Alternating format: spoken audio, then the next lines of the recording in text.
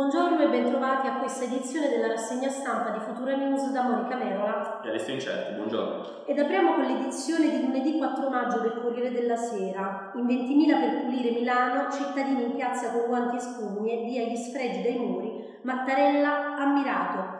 L'editoriale di Cazzullo invece parla delle elezioni amministrative e del confronto a parco candidati delle prossime elezioni. Intanto Renzi commenta circa le manifestazioni sul DDL scuola non saranno tre fischi a fermarci, piano del governo per il patto antipovertà. Adesso apriamo con la Repubblica, vediamo che dà molto spazio alla manifestazione dei cittadini milanesi, ma apre comunque con la contestazione a Renzi durante la festa dell'unità di Bologna, senza DDL a scuola, 100.000 a rischio, Renzi contestato. Camusso riforma pro reti, domani sciopero, tensione a Bologna, il Premier non mi spaventa. E dicevamo appunto dell'ampio spazio che dà il quotidiano romano alla marcia dell'orgoglio, così la definisce Paolo Berizzi. Ripuliamo Milano, la gente picchiato è stata una trappola. E il corteo dell'orgoglio di Milano, titola così la stampa, sfila nel 20.000 dopo aver ripulito e riordinato la città devastata dai black bloc. La rivincita del paese che dice sì, secondo l'editoriale di Mario Calabresi, al centro tensione alla festa dell'unità di Bologna, Renzi contestato, ma non ho paura. Intanto Francesca Schianchi, Italicum, oggi il voto finale alla Camera.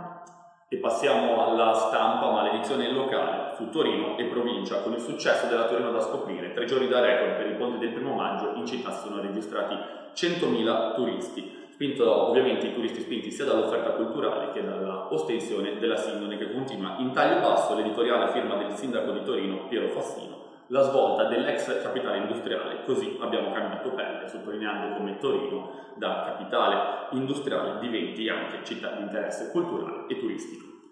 E il Sole 24 Ore apre con il fisco oscuro che costa ai contribuenti 17 miliardi, accompagnandolo dall'auto che assume progettisti ed esperti di marketing 700 opportunità di spiragli di ripresa.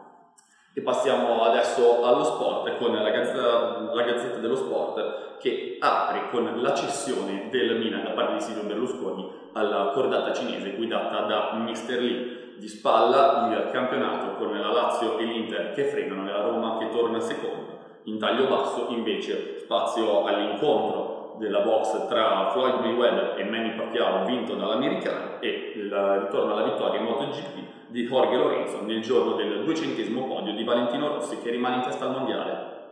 E l'appuntamento è per l'una e 10 su Radio 110 con il GR di Futura News. È tutto per oggi, alla prossima edizione. La rassegna stampa Futura News torna domani alla stessa ora. Grazie per averci seguito.